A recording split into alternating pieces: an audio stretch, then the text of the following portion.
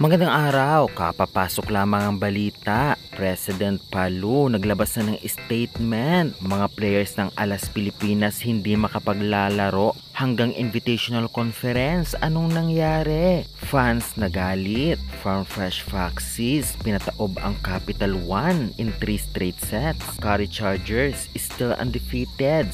7-0. Sisi Rundina spotted sa training kasama ang Choco Mucho. Nakikitraining lang ba?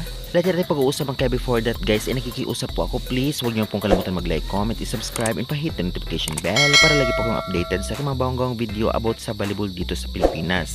Maraming maraming salamat guys, pa-subscribe. Thank you. Nagulat nga ang lahat ng may lumabas na balita nga na hindi na daw matutuloy ang pag-release ng Alas Pilipinas players sa kanilang club team sa PVL.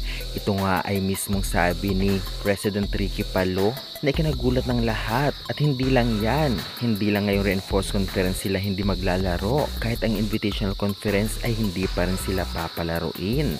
Ikinalungkot ito ng ibang fans lalong lalo na yung mga netizens na umiidolo sa mga players kung saan kailangan magpalakas o bumawi ng kanilang club team. Kaya may maraming netizens sa social media or comment section ng mismong post o interview nitong si Ricky Palo ang talagang bash ang natanggap. Ang iba naman ay naiintindihan dahil nga dapat focus lamang sa Alas Pilipinas or national team para magkaroon ng koneksyon o chemistry sa isa't isa at lumaban na lang sa malalakas na club team dito sa Pilipinas at syempre sa ibang bansa. Ngunit ang iba ay nainis dahil nga nagsabi na nga na talaga namang i-release na August 11 pa lamang ngunit hindi naman pala natuloy. Ngunit wala tayong magagawa about dito. Syempre management ang masusunod. Ano masasabi nyo guys? I-comment nyo na. Samantalang spotted din, nakikitraining na nga itong si Sisi Rondina na kasama ang Chocomucho Flying Titans para kahit hindi siya makapaglaro ay talagang nandyan pa rin ang presensya niya at hindi pa rin manibago kung sakay may bigla ang laro. Samantalang natalo nga ng Farm Fresh Foxes ang Capital One Solar Spikers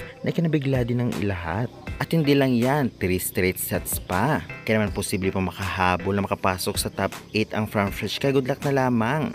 Samantalang siya ang player of the game, ang kanilang import na si Yene Morillo na may 15 points. Samantalang nanalo naman ang Akari Chargers at still undefeated laban nga sa kanilang sister team na NX led Chameleon in 4 sets. At ang player of the game nga dito ay si Michelle Cab na may 9 points at 18 excellent sets. Kaya congratulations!